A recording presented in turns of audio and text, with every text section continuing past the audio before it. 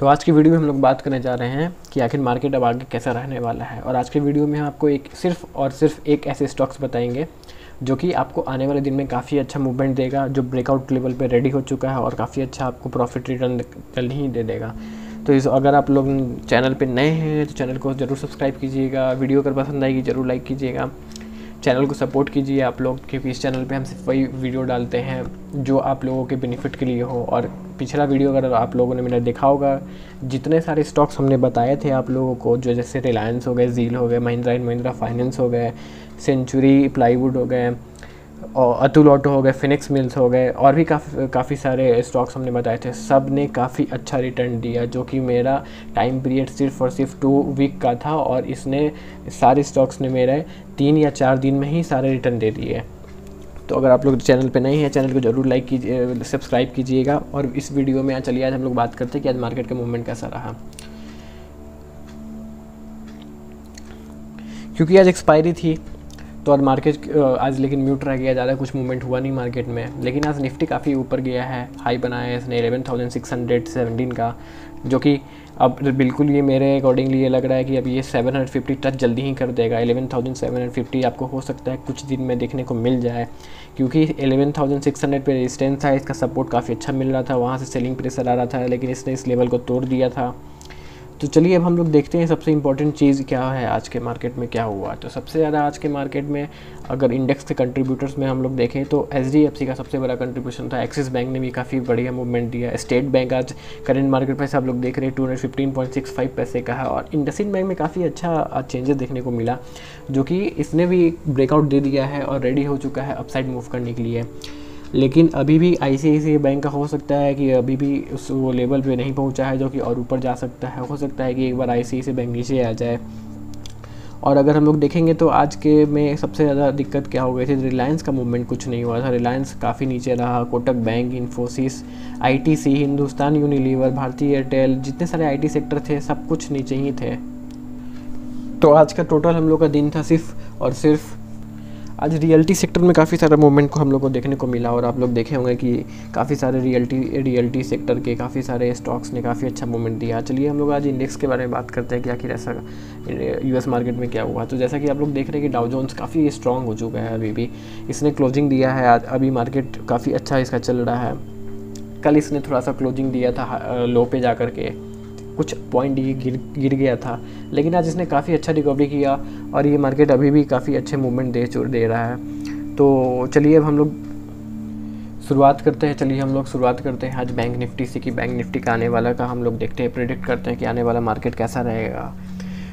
तो जैसा कि बैंक निफ्टी में सब सब क्लियर दिख रहा है कि काफ़ी अच्छा एक इंपॉर्टेंट लेवल था 23,228 के अप्रॉक्स में काफ़ी रेजिस्टेंस था जहाँ से मार्केट को मूव करना था नीचे की तरफ़।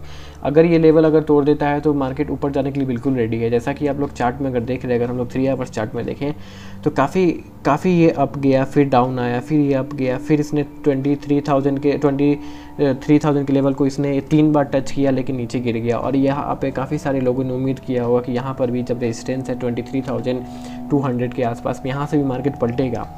हो सकता है कि काफ़ी लोगों ने पैसा गंवाए भी होंगे लेकिन पुट का लेकर के रखे होंगे, लेकिन काफ़ी सारे लॉसेस लग गए होंगे, लेकिन मार्केट हाई जा रहा था। ऐसा कुछ मार्केट में कुछ खबर आई नहीं थी। लेकिन चलिए अब हम लोग देखें मार्केट अब अपसाइड की तरफ़ किस तरफ़ मूवमेंट कर सकता है। तो देखिए जैसा कि हम लोग अगर वन डे के चार्ट के अकॉर्डिंग देखें तो मार्केट काफ़ी अभी बुलिश मोड पे निफ्टी बैंक आ चुका है। क्योंकि निफ्टी बैंक को सपोर्ट करने में सबसे ज़्यादा आप लोग अगर देख रहे होंगे तो बैंकिंग सेक्टर काफ़ी ज़्यादा सपोर्ट किया है निफ्टी को ऊपर जाने के लिए। क्योंकि बैंक देखिए निफ्टी बैंक 23,600 प्राइस लास्ट चल रहा है। इसने क्लोजिंग दिया था 23,000 23,414 का इसने क्लोजिंग दिया था। काफ़ी हाई हो चुका है। और इंडेक्स कंट्रीब्यूटर्स में भी अगर देखें तो काफ़ी अच्छा मूवमेंट दिया है। इसने बैंकिंग सेक्टर फाइनेंशियल सेक्टर ने काफ़ी अच्छा मूवमेंट दिया है। तो चलिए हम लोग नेक्स्ट टारगेट देख रहे हैं कि बैंक निफ्टी का आने वाला क्या हो सकता है। तो मेरे अकॉर्डिंगली मेरे अकॉर्डिंगली डेफिनेटली ये बैंक निफ्टी अब बिल्कुल रेडी हो चुका है। बिल्कुल रेडी हो, चुका है ट्वेंटी फोर थाउज़ेंड के लेवल को टच करने के लिए। ये ट्वेंटी फोर थाउज़ेंड का लेवल टच तभी करेगा। अगर एक बार हम short short term time period पर अगर देख लेते हैं तो तो अगर ये तो ये बिल्कुल रेडी हो चुका है ऊपर जाने के लिए। अगर बस इसका एक लेवल बन रहा है यहाँ पे एक बार हम लोग 45 मिनट्स के चार्ट पे देख लेते हैं।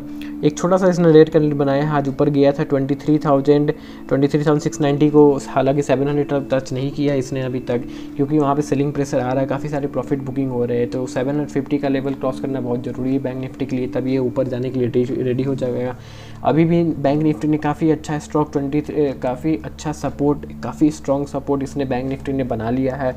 ट्वेंटी थ्री थाउज़ेंड के लेवल पे twenty three thousand four hundred fifty के लेवल पे काफ़ी अच्छा सपोर्ट इसने बना लिया है। तो चलिए अब हम लोग बात करते हैं कि जैसा कि हमने ऑलरेडी बताया कि आज के वीडियो में हम आपको एक ऐसे स्टॉक्स स्टॉक के बारे में बताएँगे जो आने वाले कुछ दिनों में सिर्फ़ और सिर्फ़ जिसका मेरा टारगेट रहेगा टू वीक्स का ऑलरेडी हमने पहले बोल रखा है आप लोगों को कि हम वही टारगेट आप वही स्टॉक के बारे में आप लोगों को बताएँगे जो आपको, आपके बेनिफिट के लिए हो। तो जो कोई भी नहीं नए हैं इस चैनल पर डेफिनेटली मेरे चैनल को लाइक कीजिए सब्सक्राइब कीजिए वीडियो को लाइक कीजिए अगर पसंद आए है तो।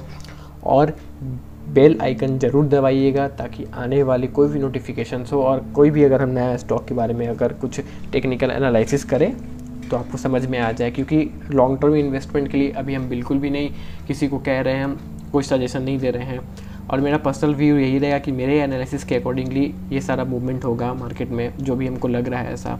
और जो स्टॉक अभी आपको हम बताने जा रहे हैं, वो स्टॉक जो मूवमेंट आपको देगा, उसका नाम है बंधन बैंक तो जैसा कि आज बंधन बैंक ने काफ़ी अच्छा कल इसने क्लोजिंग दिया था 296 का। तो जैसा कि आप लोग चार्ट में भी अगर देख रहे होंगे तो इसने गैप अप ओपनिंग दिया, जो कि काफ़ी अच्छा इंडिकेशन देता है कि मार्केट इसका रेडी हो चुका है अपसाइड की तरफ़ जाने के लिए। तो अगर हम लोग वीकली चार्ट में देखते हैं तो काफ़ी काफ़ी बहुत ही अच्छा चा, अच्छा चार्ट इस पर बना हुआ है बहुत ही अच्छा चार्ट बना हुआ है। तो मेरे अकॉर्डिंगली अगर किसी को भी बंधन बैंक में बाई करनी है तो आज काफ़ी अच्छा अपॉर्चुनिटी था और ऐसा नहीं है कि अपॉर्चुनिटी चला गया है। अभी भी आपके पास अपॉर्चुनिटी है। अगर आपको two hundred two hundred ninety five के लेवल पर दोबारा देखने को मिले तो आप डेफिनेटली वहाँ वहाँ भी बाई कर सकते हैं। आप करेंट मार्केट प्राइस भी बाई कर सकते हैं लेकिन मेरे अकॉर्डिंगली एक बार आपको और मौका देगा ये three hundred three three hundred four के पास आ करके क्योंकि इसका भी सपोर्ट काफ़ी रहता है निफ्टी बैंक को ऊपर जाने के लिए। तो मेरे लिए अगर टारगेट है आप लोग के लिए सजेशन यही रहेगा कि जिस किसी को भी बंधन बैंक बाई करना है तो आप लोग करेंट मार्केट प्राइस पे फिफ्टी परसेंट आप लोग करेंट मार्केट प्राइस पे बाई कीजिए। इन केस अगर कोई डिप्स देखते हैं नीचे की तरफ़ अगर आता है तो आपको, आपके लिए बाइंग अपॉर्चुनिटी काफ़ी अच्छा क्रिएट हो जाएगा। तो मेरे लिए सेकेंड अपॉर्चुनिटी कब क्रिएट होगी यहाँ पे बाइंग के लिए तो आपको टू नाइन्टी थ्री बाई करना है थर्टी परसेंट और और आपको बचा हुआ बचा हुआ ट्वेंटी परसेंट आपको बाई करना है, बचा हुआ ट्वेंटी परसेंट आपको बाई करना है टू हंड्रेड एट्टी एट के समथिंग पे आपको बाई करना है। लेकिन हमें नहीं लगता है कि ये जल्दी आपको टू हंड्रेड थ्री हंड्रेड के नीचे आपको जल्दी देखने को मिल सकता है। मार्केट अगर बहुत ज़्यादा गिर जाएगा तो हो सकता है कि ये भी कमज़ोर हो जाए बैंक निफ्टी का सपोर्ट आपको अगर डाउन हो जाएगा तो इसका भी गिरना तय रहेगा।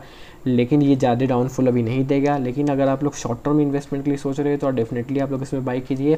तो चलिए अब हम लोग आपको बताते हैं कि किसी को भी बाई करनी है तो हमने बता दिया आप लोगों को बाई लेवल क्या है।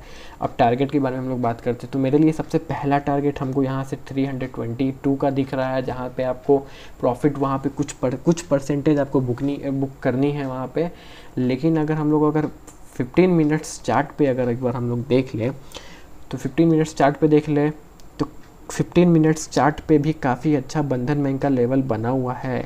अगर हम लोग वीकली चार्ट पे अगर देखें तो मेरे लिए वीकली चार्ट के अकॉर्डिंगली अगर सबसे पहला टारगेट जो मेरे अकॉर्डिंगली लग रहा है, हमें सबसे पहला टारगेट रहेगा 322 का सेकंड टारगेट आपको रहेगा 300 300 एक बार हम थोड़ा शॉर्ट टर्म टाइम फ्रेम पे देख लेते हैं वन डे के चार्ट पे।